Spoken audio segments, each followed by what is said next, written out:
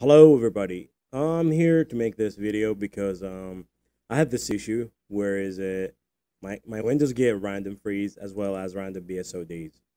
And I don't know. Whenever I search, I found the solution would be one of these.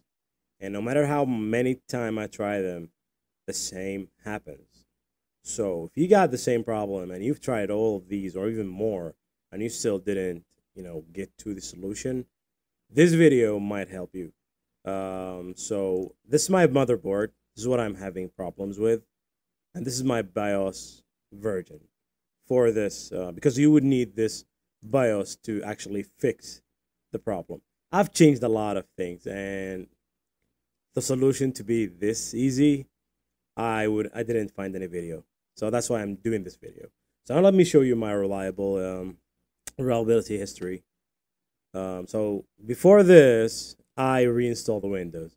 So my system have been, as you can see, reliable for three days, three days in a row. So that's what I want you to do. I want you to try this with me, and let me know in the comment that if it's worked for you, please. So there's a solution. Go with it. You just have to disable C state, and I'm gonna show you how to do it, as well as AMD Cool and Quiet, and that's it you have to disable these two and your system will gonna be good. So let's go. To restarting the um, pc you keep pushing delete enter you come here for those who don't know. And you make sure that um, the BIOS is just like mine. Or if it's not then the system or the um, the configuration you're gonna use or settings will be different. I don't know. So you may try find the same, but if it's not, try to update um, your BIOS. You may find the various videos, you know, uh, telling you how to do it. so you go to MIT from here, and then you go to I think voltage, no, memory, no, frequency, yes, the frequency, yeah. We'll go to MIT and then the advanced frequency settings, and then you go to advanced CPU settings. And this, this AMD cool and quiet function would be enabled in your case or auto, I don't remember. Make sure you disable that by pressing it like this. As well as global C state control. This has to be disabled too.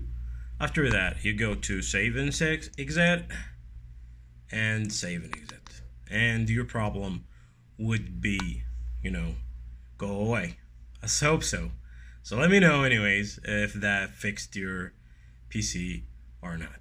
So thank you very much, and I hope I fixed that because it's been like um, a month what I was trying to um, fix it. It took me a while. I've changed a lot of things. I've changed my RAMs. I've changed my power supplies. I've changed power supplies. Okay, my my power supply. I changed um, my GPU as well um, didn't sell solve anything. I even tried it another, you know, installing my Windows in another M2, still the same thing. And I kept digging until found the solution. So I hope that will solve your your issue. So let me know, please. And that's it.